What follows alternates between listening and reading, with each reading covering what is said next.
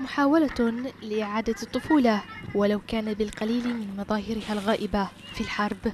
يتضرر كل شيء الأرض والإنسان وحتى التاريخ ولا يبقى خارج دائرتها إلا أولئك المستفيدون منها. لكن الأسوأ هو الإضرار بمستقبل وطن بأكمله ممثلا بهؤلاء الأطفال. من يحملون الحاضر في ذاكرتهم واليمن الجديد في سنوات مستقبلهم القادمة. يوما ما سيغيرون واقع هذه الأرض والبلاد. سينقلون تجربتهم القاسية والتي دفعوا ثمنها غاليا كدرس مجاني للأجيال القادمة. مفاده ألا مجال لاستيطان الحرب بعد انتهائها بالطبع لأرضهم مرة أخرى.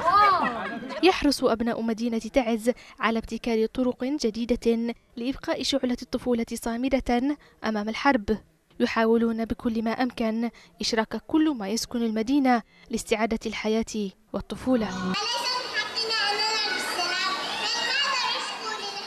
يقاومون بالسلاح والكلمة حتى ويقيمون الفعاليات للترفيه عن الأطفال الذين أنهكتهم الحرب وتبعاتها. ففي مدينة التربة أقيم مهرجان الطفولة للمطالبة بالسلام والترفيه عن الأطفال النازحين في المدينة. من جردتهم الحرب وقادتهم إلى هنا. إحنا بالمساحة الصديقة نستهدف الأطفال النازحين آه، من أجل إخراجهم من قوى الحروب آه، ونعمل على توعيتهم بمخلفات الحروب ومخاطر الألغام أما الأطفال فلا تبدو مطالبهم كثيرة وشاقة.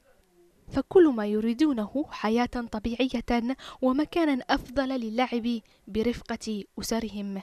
أشكر المساحة الصديقة وبرنامج تفعيل قلم لأنه أبعدنا عن الحرب والصراع ووفروا لنا بيئة آمنة للعب. هكذا هي الطفولة في تعز.